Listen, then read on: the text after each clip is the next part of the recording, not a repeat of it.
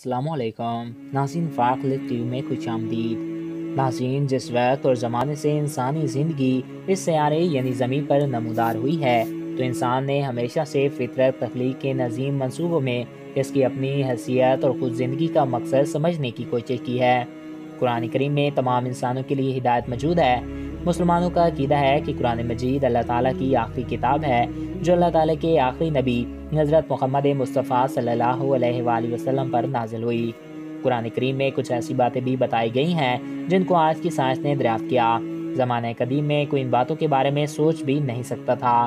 तो आज के इस वीडियो में हम आपको वही बातें बताने जा रहे हैं। तो वीडियो की जाने, बढ़ने से कबल देखने वाले दोस्तों से हमारी ये गुजारिश है कि अगर आपने अभी तक हमारे चैनल को सब्सक्राइब नहीं किया तो इसको सब्सक्राइब करें और साथ ही बेल के आइकन को प्रेस करें, ताकि नई आने वाली हर वीडियोस बर वक्त आप तक पहुँच रहा करें। नाजीन दुनिया के मशहूर तरीन साइंसदान अल्बर्ट आइंस्टाइन के मुताबिक साइंस मज़हब की बिना लंगड़ी है। दोस्तों, बिग बैंग नज़रिए के मुताबिक, पहले ये कायनात बहुत बड़ी कैमियत की शक्ल की थी, जिसे प्राइमरी नेबोला कहते हैं। फिर एक धमाके से कायनात फटकर बिखर गई। ये इन कायनात पहले एक छोटे से नुक्ते में थी। इसी नुक्ते में सैारे सितारे, आसमान सब थे। अल्लाह ताला फरमाते हैं, तर्जमा, और क्या काफिर लोगों ने नहीं देखा? जुमला आसमानी कायनात और ज़मीन सब एक ही काय की शिकल में जुड़े हुए थे। बस हमने इनको फाड़ कर जुदा कर दिया। इस कुरानी आयत और बिग बैंग के दरमियान मुमासलत से इनकार नहीं किया जा सकता। ये कैसे मुमकिन है कि किताब जो आज से 1400 साल पहले अरब के रेगिस्तानों में ज़ाहिर हुई, वो अपने अंदर ऐसी गैर मामूली सैंसी हकीकत लिए हुए हो?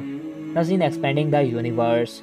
नजीन उन्नीस सौ पच्चीस ईस्वी में अमेरिकी साइंसदान एडविन हबल ने इस अमर का मुशादाती सबूत फराम करने की तमाम एक कोशिशें की कि तमाम कहकशाएँ एक दूसरे से फासले पर होती जा रही हैं, जिसका मतलब ये निकल कर आया कि कायनात हमेशा से फैलती जा रही है।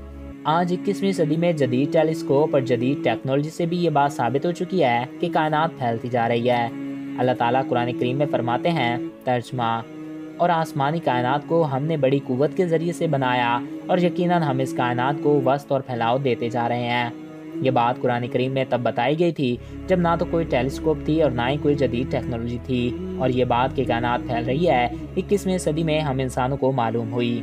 नाजीन नबातात ज़माना कदीम के इंसानों को मालूम न था कि पौधों में भी नर और मादा होते हैं, जबकि हमारी आज की जदीद साइंस हमें बताती है कि इंसानों और जानदारों की तरह दरख्तों में भी मेल और फीमेल होता है। मगर ज़माना कदीम में किसी को ये बात मालूम न थी, मगर कुरान करीम में इस बात को भी 1400 साल पहले बताया जा चुका है।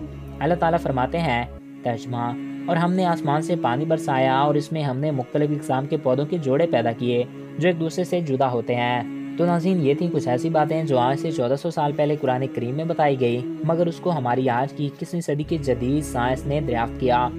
तो आई होप आपको ये वीडियो पसंद आया होगा और आपकी मालूम में इजाफा हुआ होगा। अगर आपको हमारा ये वीडियो पसंद आया और आपकी मालूम में इजाफा हुआ है तो हमारे इस चैनल को सब्सक्राइब करें और साथ मौजूद बेल के आइकन को प्रेस करें। Thanks for watching. अल्लाह हाफिज़।